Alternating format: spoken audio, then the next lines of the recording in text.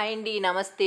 నేను శ్రీలక్ష్మి. ఈ వర్షాకాలంలో ఏ వండాలో తెలియనప్పుడైనా పిల్లల లంచ్ బాక్స్లోకైనా చాలా ఈజీగా ప్రిపేర్ చేసుకుని టమోటా రైస్ చాలా ఎమ్మీగా టేస్టీగా సింపుల్గా ఎలా ప్రిపేర్ చేసుకోవాలో చూపిస్తానండి. జస్ట్ ఫైవ్ మినిట్స్ లోపే మనకి టమోటా రైస్ ప్రిపేర్ అయిపోతుంది. టేస్ట్ అయితే మాత్రం చాలా చాలా బాగుంటుందండి. ఇంకా టమోటా రైస్ ప్రిపరేషన్ కోసం ఒక కుక్కర్లో మీడియం సైజ్ మూడు టమోటాలు రెండు ఎండుమిర్చి వాష్ చేసుకుని తీసుకుని అందులో ఒక గ్లాస్ వాటర్ వేసుకుని కుక్కర్ మూత పెట్టి మూడు విజిల్లు రానివ్వాలి. కుక్కర్ ప్రెజర్ అంతా పోయిన తర్వాత కుక్కర్ ఓపెన్ చేసి ఆ టమాటాలని బాగా చల్లార్చుకోవాలి. ఈ టమాటాలు చల్లరిలోపు మిక్సీ జార్ తీసుకుని అందులో ఒక ఇంచు అల్లం ముక్క ఇంకా ఒక ఎనిమిది వెల్లుల్లి రెబ్బలు పొట్టుతో సహా వేసుకుని ఒకసారి అలా క్రష్ మిక్స్ చేసుకోవాలి. అది ఒకసారి మిక్స్ అయిన తర్వాత ఈ టమాటాలను పొట్టు వలుచుకుని ఆ మిక్సీ జార్లో యాడ్ చేసుకోవాలి.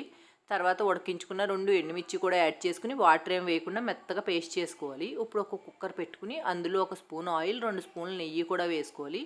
ఈ ఆయిల్ నెయ్యి బాగా వేడైన తర్వాత అందులో ఒక పావు స్పూన్ షాజీరా వేసుకోవాలి. షాజీరా కొంచెం ఫ్రై అయిన తర్వాత ఒక ఇంచు దాల్చిన చెక్క మూడు లవంగాలు రెండు యాలక్కాయలని దంచుకుని వేసుకుంటే మనకి ఫ్లేవర్ చాలా బాగుంటుంది. తర్వాత ఒక నల్ల ఇలాచి ఒక స్టార్ యానెస్ కూడా వేసుకుని ఒక కుప్పుడు వరకు జీడిపప్పు వేసుకుని జీడిపప్పు లైట్గా కలర్ మారేదాకా ఫ్రై చేసుకోవాలి.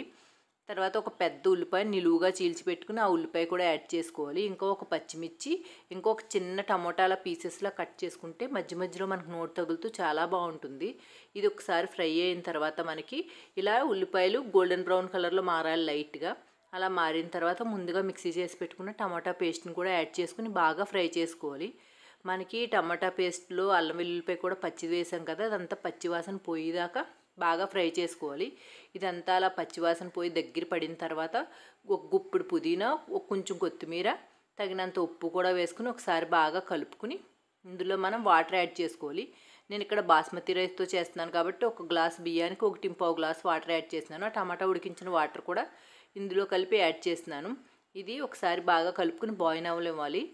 నేను ముందుగానే ఒక గ్లాసు బాస్మతి రైస్ని అలా వాటర్లో వేసి ఒక ముప్పావు గంట వరకు నానపెట్టుకున్నాను. నేను నానపెట్టుకున్నాను కాబట్టి ఒకటికి ఒకటి పావు వాటర్ యాడ్ చేసుకుంటున్నాను. మీరు నానపెట్టుకోపోయినా సోనా మసూరి రైస్ అయినా కొంచెం వాటర్ ఇంకో పావు కప్ ఎక్స్ట్రా యాడ్ చేసుకోవచ్చు. తర్వాత నేను ముందుగా నానపెట్టిన బాస్మతి రైస్ని కూడా ఇందులో యాడ్ చేసుకుంటున్నాను. బాస్మతి రైస్ అలా వాటర్ తీసేసి యాడ్ చేస్తే మనకు వాటర్ ఎక్కువై మెతుకు చిదిగిపోకుండా ఉంటుంది. తర్వాత కుక్కర్ మూత పెట్టి మూడు విజిల్ రానిచ్చి స్టవ్ ఆఫ్ చేసి ప్రెజర్ పోయిన తర్వాత ఓపెన్ చేస్తే మనకి టేస్టీ టమాటా రైస్ రెడీ అయిపోతుందండి. ఇది కుక్ చేసుకోవడం మనకి టమాటాలు ఉడికిపోతే జస్ట్ ఫైవ్ మినిట్స్లో అయిపోతుంది. టేస్ట్ అయితే చాలా చాలా బాగుంటుందండి. మీరు కూడా తప్పకుండా ట్రై చేసి మీకు ఎలా కుదిరిందో నాకు కమెంట్ చేయడం మాత్రం మర్చిపోకండి. ఈ వీడియో మీకు నచ్చినట్లయితే మా ఛానల్ సబ్స్క్రైబ్ చేసుకోండి. Thanks for watching. బాయ్.